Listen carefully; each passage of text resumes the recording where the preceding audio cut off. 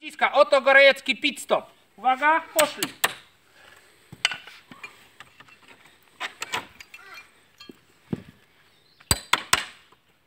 Tak się wymieniało kiedyś koła.